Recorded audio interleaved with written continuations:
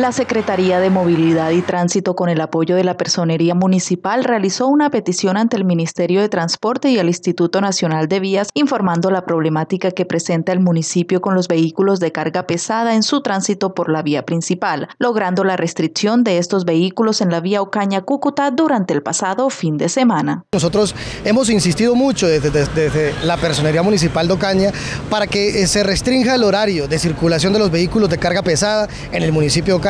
teniendo en cuenta la alta accidentalidad que ocurre sobre la avenida Francisco Fernández de Contreras. Eso es un logro que incluso desde la personería y la Secretaría de Movilidad, trabajando articuladamente, pues hemos logrado y hemos venido eh, realizando ese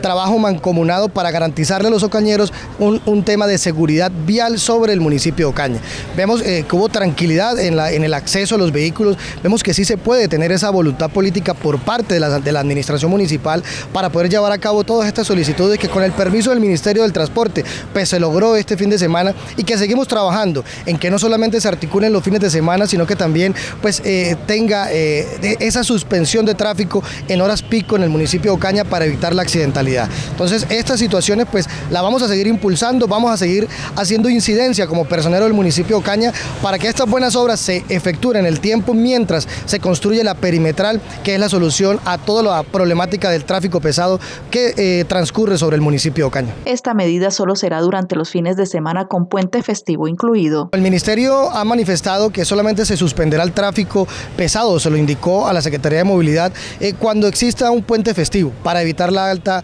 eh, accidentalidad, evitar el alto flujo de vehículos de carga pesada sobre este importante eje vial y obviamente también eh, disminuir esa gran cantidad de accidentes que venían ocurriendo sobre la avenida y sobre el principal eje vial del municipio Ocaña. Esta medida fue supervisada por la Policía de Carretera y la Secretaría de Movilidad del municipio con el fin de mejorar la fluidez vial y proteger la integridad de toda la comunidad.